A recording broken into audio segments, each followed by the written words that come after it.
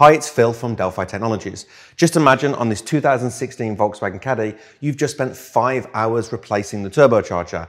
It's important not to forget to calibrate after. And that's what I'm gonna take you through in this video.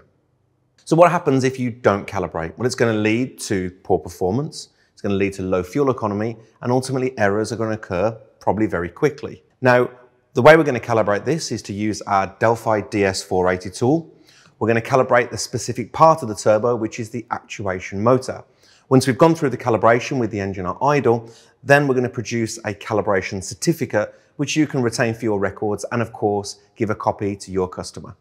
Now, calibrating the turbo actuator is quick, easy, and absolutely essential. To do it, we're going to enter the registration number, and that's going to pull the exact engine code.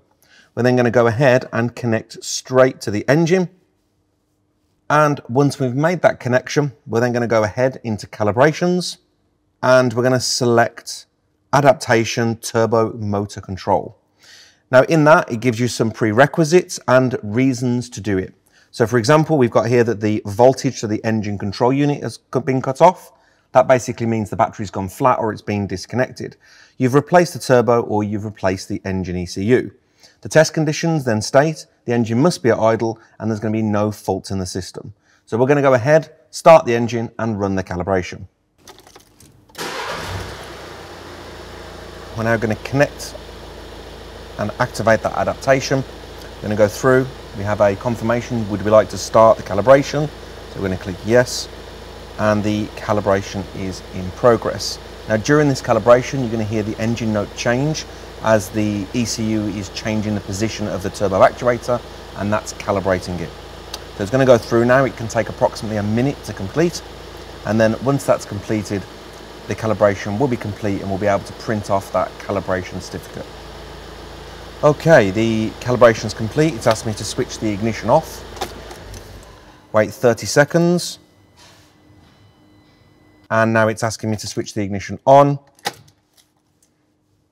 It's going to re-establish communication with the ECU and you're going to hear the stepper motor change position and the calibration is now complete.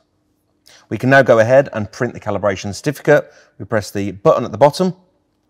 We can see here that we've got the two elements, the codes and the dialog. Scrolling down and then you'll see that the dialog says function complete. We can click on print there and that will print off the certificate. We can either save it as a PDF or send it directly to a wireless printer. Thanks for watching.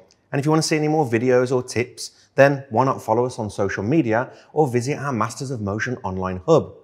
And for more expert-led courses, you can visit the Delphi Training Academy. Thanks for watching.